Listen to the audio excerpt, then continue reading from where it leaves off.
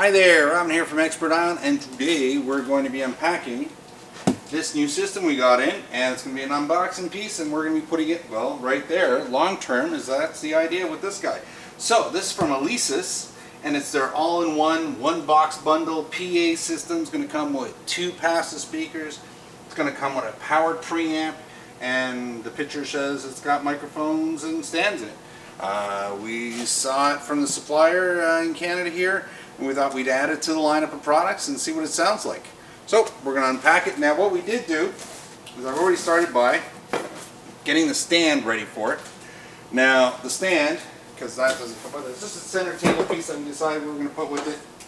And it's this guy right here. It's from Pyle, and it is called the PLPTS4, which is nice because it's a plastic piece. So I'm not going to unbox this. I decided to pre-put it together. Adjustable, collapses really down on a small piece of hardware. Uh, you can put your laptop on it, you can put your amp on it, you can do pretty much whatever you want on top of this guy. Uh, it was really easy to work. It's you can either it's got a nice frame, a beveled edge. It's all hard plastic. It's uh, all metal on the base pole. Uh, strongly recommend it if you're looking for something with a big tabletop surface that you can bring with you and take away. This guy, pretty smoking. I wouldn't complain about that. So we'll put this here. And what we're going to do for sound testing is we're going to set everything up here first, see what it sounds like, then we'll put it away.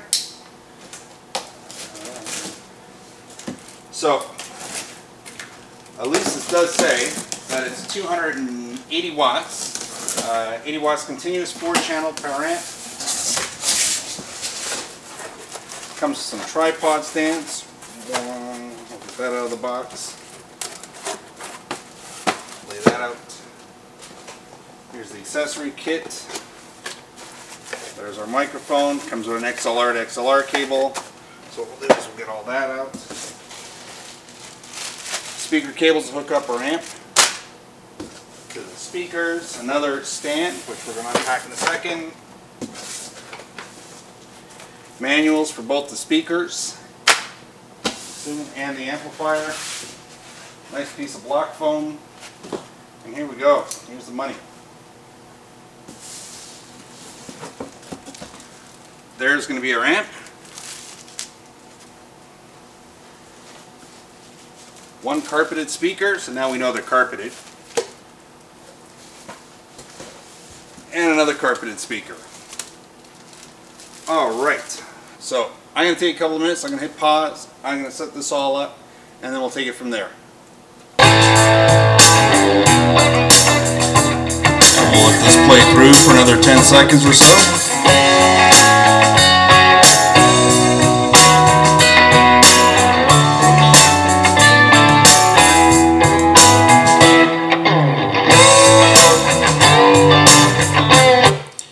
Have to say, once I actually got everything unpacked, the setup of the system, that means setting up the tripod, throwing the speakers on top, doing all that kind of stuff, only took about two minutes. I mean, it was that easy to set up. I did have to get a slightly longer uh, extension cable because the power cord on it is only four feet long, so you're definitely going to want to have that with you.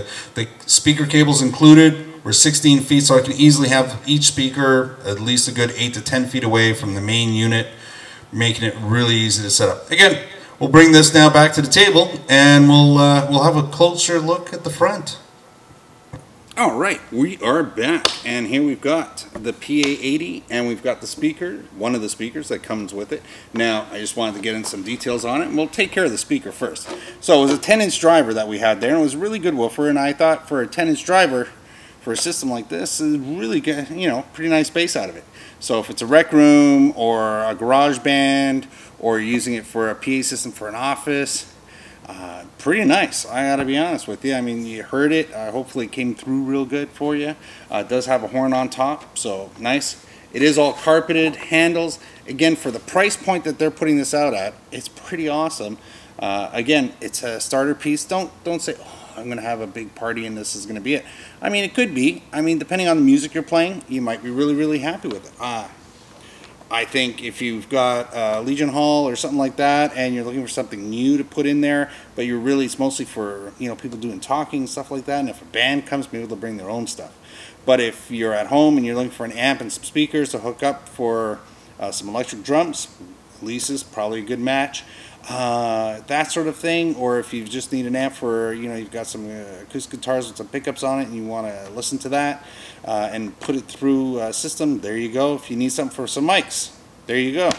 Karaoke, awesome. If you're doing karaoke, this is a great system for that. So I'm going to put this on the floor here. Again, 10 inch all wood, all carpeted, had rubber feet on the back, two quarter inch jacks on the back of it. It has a link, so they even label everything. They go to a lot of detail to label. Even the stands were labeled, giving you the uh, uh, the mounting height uh, being the minimum and the maximum. It was all labeled there for you. So, real easy again. Setup only took a couple of minutes once you get it all out of the box. So, the unit itself, really straightforward. It's all built into the front. Again, carpeted, so that means we've got ourselves a wood box handle on top, uh, on the back side, uh, power cord. You've got the two speaker inputs. It runs at 4 ohms. The speakers are 4 ohms. Everything's matched to go together. So cables included. The speaker cables are really, really nice. Uh, the cable for the microphone was really nice. The microphone was plastic and it was free. I mean, as a mic that comes included in a package, this way if you like forgot to buy one, there it is out of the box, you got a mic. So, now if we look at the unit here, I have to take a look at it because again, this is the very first time that I'm really getting a good up close look at it. We had uh, four inputs with XLR and quarter inch jacks on it, bass and treble control, effects control, and uh, main gain control for the line volume on that. So what that really means is that I can adjust all the inputs separately all the way across the first four and there's a fifth one. We'll get that to that one in a second. And then we can use the master volume which I found all the way at the very end. Your main volume out to your amplifier. The other red button that was next to it uh, was the auxiliary input. So you get this whole package of things all located here. So you get your digital display uh, it had an SD and a USB input on it. It has digital volume controls for all of that pretty straightforward. If you hold the last button down, it will turn off the digital display, so it's off. That was okay. Um, the effects. So instead of giving you a dial where you have to adjust everything, tweak it, it's pretty easy. Uh, you get two options that were here. I just got to turn it around again so I can see it. It has, yes, three knobs. Repeat, time, and level. So you can adjust the level on all of them and you can repeat the time. So you get the reverb effect, you get the repetitive effect, the echoing effect, and then you can space it out, and then you can increase or decrease it volume level wise against the main volume, which I think is a real nice way to do it because it gives you an infinity choice of options there. Just by using the two knobs, you can dial it the way you like. That's what's going on there. Now, again, like I said, it had the line ins and it had auxiliary line in. So, two sets of RCA inputs, and then you still have the four quarter inch line ins going across the whole unit. Uh, I mean, definitely a thumbs up kind of product. I mean, uh, there's nothing you can't do with it. Now, there is one thing really big that you can't do with it. It doesn't have Bluetooth on it. So it really wasn't meant for uh, somebody who's just going to throw this in the backyard and I'm going wireless, I'm going to use my Bluetooth. You're going to need auxiliary cables with it, but that's not a bad thing uh, because the odds are in a price range like this, they would have only put Bluetooth 2.1 on it, and that would have meant you would have had really compressed audio like you do on a lot of Bluetooth systems, uh, and the cords would have always sound better. And once you realize that, you go, I'm just going to use the cables all the time. So if you're plugging a laptop, you can plug a laptop in and a phone in or a tablet in at the same time. You can plug up to four microphones in at the same time. Uh, you can hook up instruments to it, no problem. So somebody's using this for a keyboard, for example. I think that's a great, a great way to plug a keyboard and run a system like that. So there's a multiple of great reasons to get that. And again, it all comes in one box. So you buy it, you know you bought everything you need. Only thing you're going to need to buy are some auxiliary cables, which I usually have kicking around here. And maybe I do. Maybe there's a pair right here. So, you know, make sure you pick yourself up some auxiliary. So you need, you know, for your tablets and phones and your laptops, a 3.5 to some, you know, quarter, sorry, RCA cables. This way you can use either the auxiliary or the fourth input line on the system. Uh, that's pretty much it. Now remember though, if you're using microphones, corded or cordless, you're going to eventually have to plug them into the unit.